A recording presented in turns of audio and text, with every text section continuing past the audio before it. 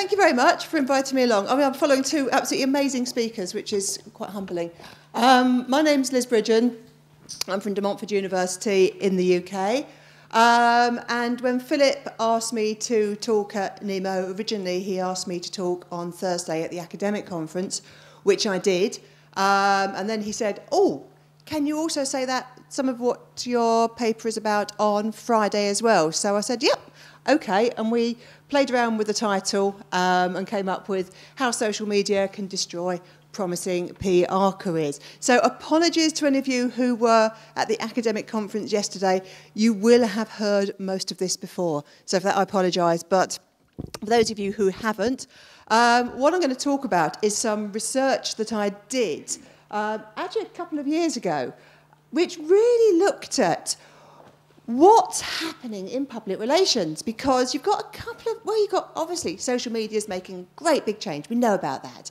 But also, um, and there's some empirical evidence for this, the number of men moving into public relations at a junior level is growing. And we all know that women outnumber men in junior positions in PR, but when it gets to senior positions, the women have just, they've gone. And interestingly, I'm working on another research project which is trying to map what happens to those women when they leave. And the really interesting thing is they don't leave because they've gone and had babies. It's for lots of other reasons. Right, now, the evangelist bit. Um, public relations, so this is being performed via digital platforms. And what that means is that for a lot of women who've got, and men for that matter, um, who have multiple responsibilities, we can do our PR work in the evenings at a time that suits you. We can be very flexible and we can build up our own networks um, in at a time that suits us. Also, if we want to hide our gender, our sexuality, our ethnicity, for whatever reasons, then we can. You know, there's a lot of writing that says, you know, the internet will equal equalize everyone, and because we're all equal online, you know, PR is going to be fantastic. It's going to be very, very gender equal. Um, and we've all got opportunities to acquire lots and lots of knowledge as well. Unfortunately, I'm not sure if that's actually the case. Um, now, I carried out some research among kind of junior to mid level PR practitioners. So, for those of you who work in PR, sort of account executive to account manager or PR manager, press officer level. And what I did, I basically tried to find out what people did. Um, and the results were quite shocking to me. They shouldn't have been shocking, uh, but they were.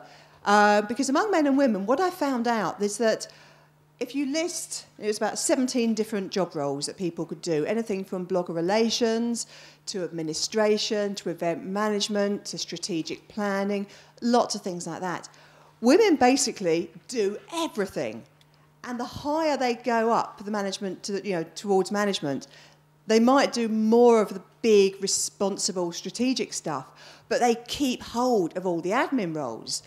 Um, and basically men at junior or senior level do fewer tasks they do a lot less um, and now does that mean um, among men and women that women are doing more and have less time to do other stuff like building their own profile on social media and blogging and tweeting?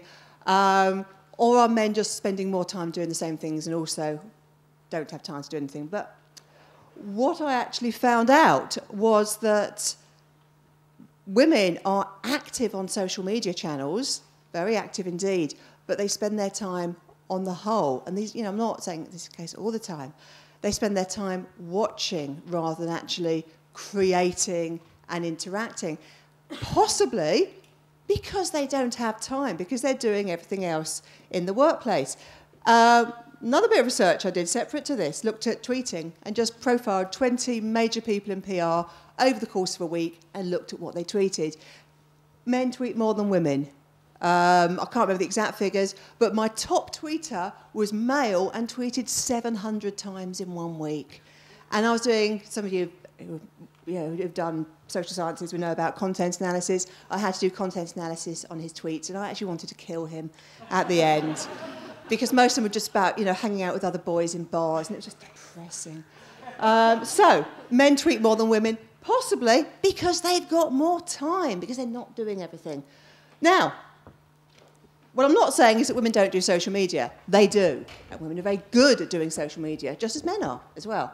But within the workplace, there's something very, very strange is happening. Because the women kind of get what you might call the kind of boring social media jobs, like the running of the Twitter feed. And I, I know some of you might say, actually, it's great to run a Twitter feed. And I'm sure there are some which are really good fun to run. But if you're just answering inquiries and saying, I'm sorry your parcel hasn't arrived, I'm sorry your plane is late, it's not giving you a chance to actually build your own personal networks, to interact, to acquire expert knowledge, all that sort of stuff. Um, so women are more likely than men to run organisational Twitter feeds. They're also more likely to do blogger relations, blogger liaison, which, you know, you could argue, well, that's actually great. They get to talk to bloggers. Most of the time, it's just depressingly mundane stuff. And unfortunately, these don't show up very well. But so much blogger relations is now just about organising giveaways with minor bloggers, sending them packs in the post, as Igelina was just talking about. So, overall, women are involved far more than men in mechanistic and boring social media roles in the workplace. And why do men bag all the creative and the sort of network building roles? Not sure. Need more research on that. So essentially, I was talking about you know, social media destroying careers. Does social media destroy public relations careers? It can, because if the men are taking all the interesting roles and the women are being left with the really dull social media roles, essentially it's replicating what's happened in public relations over the last, I don't know, 50, 60, 70 years, that you've got a lot of women, really bright, really keen, really enthusiastic, ending up doing the very administration-led jobs where they're not actually getting a chance to develop those management level skills. Um, and essentially, social media isn't a great leveler for them. It's actually destroying their career because of it. They can't actually progress. So thank you very much. And I, now I think we've got the panel discussion.